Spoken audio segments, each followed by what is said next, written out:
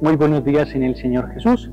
Bienvenidos hoy martes 30 de julio a su programa con Dios al amanecer. Esperamos que nos sigan a través de Disciplina TV y a que escuchemos el Santo Evangelio según San Mateo. Explícanos la parábola de la cizaña del campo.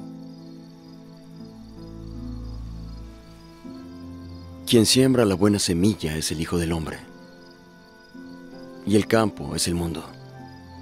Y la buena semilla son los hijos del reino, y las cizañas son los hijos del malo.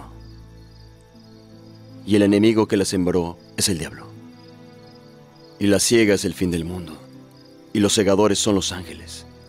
De manera que, como se arranca la cizaña y se quema en el fuego, así será en el fin de este mundo.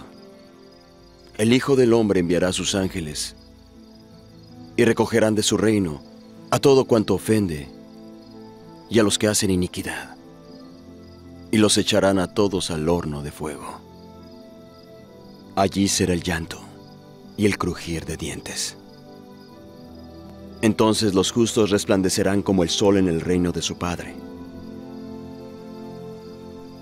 El que tiene oídos para oír, oiga. Palabra de Dios. Hoy el evangelista Mateo nos presenta al Señor Jesús explicando la parábola de la cizaña. Y qué bonito que el Señor nos hable el corazón, que el Señor sea muy claro en donde nosotros podamos tener en cuenta las personas que están haciéndonos daño, también están ahí presentes en nuestro diario vivir. Pero que movidos por el espíritu del mal, siguen estando ahí y que nosotros tengamos ese espíritu del Señor, un espíritu que nos invita, un espíritu que nos ayuda, un espíritu que nos hace partícipes del bien y del amor.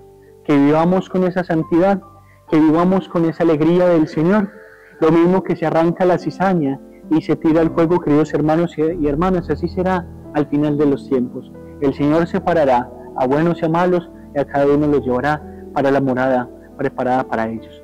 Que el Señor los bendiga y podamos ser trigo bueno ante la cizaña del mundo que nos quiere contaminar. Que el Señor los bendiga hoy siempre en el nombre del Padre, del Hijo, del Espíritu Santo. Amén.